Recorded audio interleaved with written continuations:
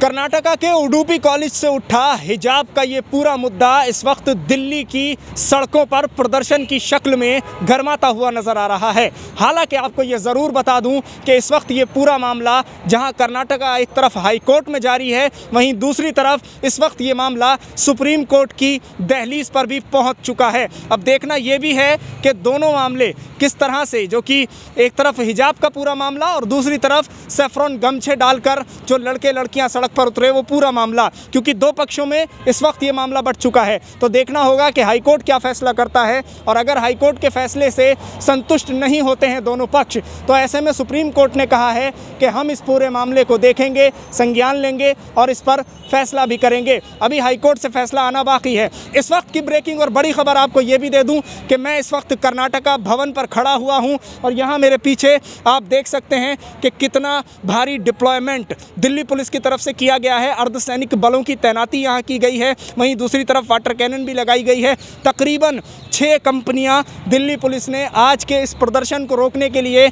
यहाँ कर्नाटका भवन पर लगाई हैं। कौटल्या मार्ग हो, उसके अलावा ये यूपी भवन का पूरा इलाका हो। यहाँ तमाम तर जो कंपनियाँ हैं, उनको लगा दिया गया है। सीआरपीएफ के जवानों को तैनात किया गया है। और इस वक्त की खबर ये भी आ रही है कि तकरीबन 40 प्रोटेस्टर्स को जो कि एसएफआई और आइसा के थे, उनको दिल्ली पुलिस ने जगह जगह से उठा लिया है और डिटेन करके दिल्ली के अलग अलग थानों में भेज दिया है, जिसमें चाणक्यपुरी और मंदिर मार्ग वगैरह जैसे थाने हैं, जहाँ इन प्रोटेस्टर्स को रखा जाएगा। क्योंकि कल जो प्रदर्शन यहाँ हुआ था, उसके बाद दिल्ली पुलिस काफ़ी सतर्क हो गई, चौकन्नी हो गई और आज पूरी तरह से डीसीपी न्यू दिल्ली दीपक यादव ने सख्त अरेंजमेंट कर दिया।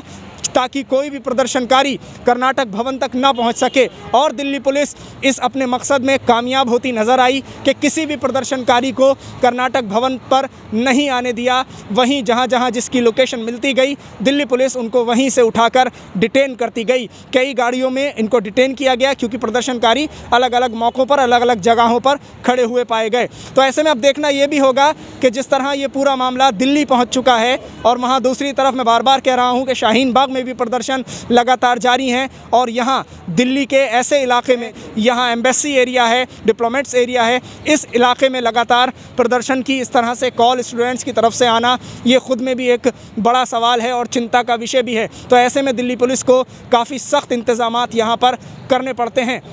तो अब देखना ये भी होगा कि ये पूरा मामला किस रुख में जाकर नज़र आता है। सुप्रीम कोर्ट का फैसला अभी इस पूरे मामले पर आना बाकी है। कर्नाटका हाई कोर्ट का फैसला इस पूरे मामले पर अभी आना बाकी है।